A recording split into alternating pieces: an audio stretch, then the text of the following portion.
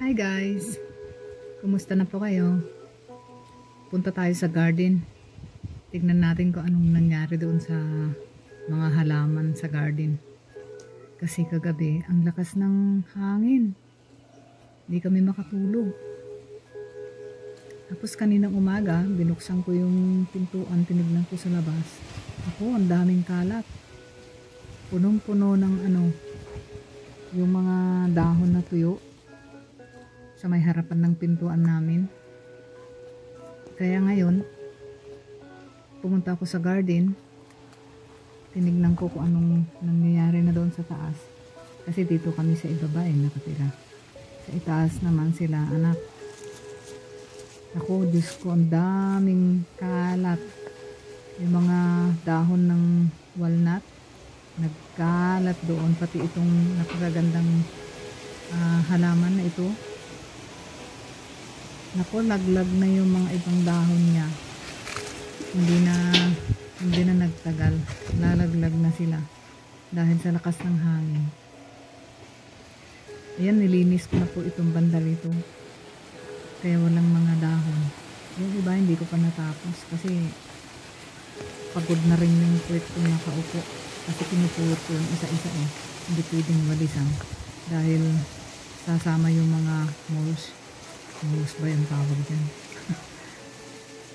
Ayan, hindi ko pa nalinis yan. Ang daming kalat yung mga po, ayan, mga bunga ng ano, walnut. Nabababad na sila sa kan kanyang balat. Kaya umitim na sila. Hindi ko na aagad na tanggalin yung mga wal, uh, ano yun, yung nut sa loob. Kaya umitim na sila. Yan yung lamisa. Punong-puno ng kalat. Ayan, dami kong lilinisin. Nai-stress ako. Pero kakanta-kanta lang ako kanina dahil ayaw kong stress. Yan, tignan natin yan. Oh, ayan. Daming wawalisan. Ito pwedeng walisan dahil ano yan. Grass. Pero sa kabila hindi pwedeng walisan. Pulot-pulotin ko lang isa-isa yung dahon. Hanggang sa kamalig. Yung kamalig.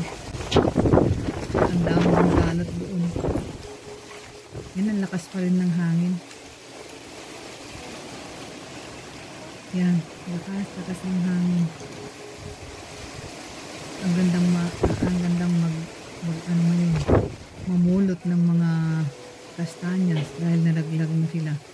Kaso, oras naman ng, araw naman ng trabaho. Hindi pwedeng pumunta sa bundok. Saturday lang kami pumunta doon. Yan, lakad pa tayo doon sa banda rito.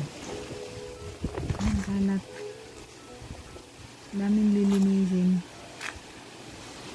ilang araw ko itong lilinisin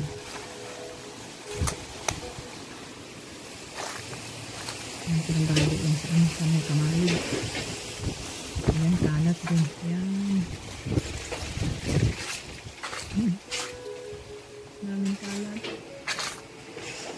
hindi mo alam kung ano yung uunahin balik tayo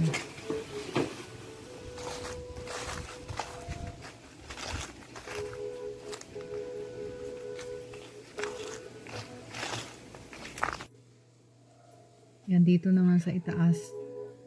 Kita yung walnut kasi walnut tree kasi nasa ibaba na ako. Bumaba na ako sa ano, sa bahay. Ayan yung terrace namin hindi pa natatapos. Ayan yung mga pinulot kong mga walnut. Pinapatuyo ko sila. Kaya ang daming itim oh. Tinanggal, tinanggal ko doon sa balat nila. Itim na sila kasi nababad na eh. Ito naman yung bintana namin. Dito kami nakatira. Dito